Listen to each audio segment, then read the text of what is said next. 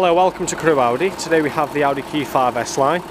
The car's got the LED daytime running lights with the xenon headlights, front headlight washer jets with the front and rear parking sensors, 20 inch segment design alloy wheels, with the chrome surrounds on the exterior windows with the chrome roof rails with the privacy glass from the B-pillar backwards, with the LED backlights, with the twin polished chrome exhaust.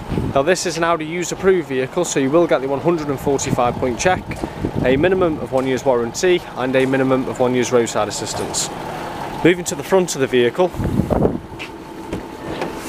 the car has the electronic folding exterior mirrors with the full black leather interior seats with the S embossed logo and the sport seats, automatic headlights and wipers with a three spoke perforated leather multifunctional steering wheel, dual digital climate control with technology package with navigation with an 8 speed Tiptronic automatic gearbox.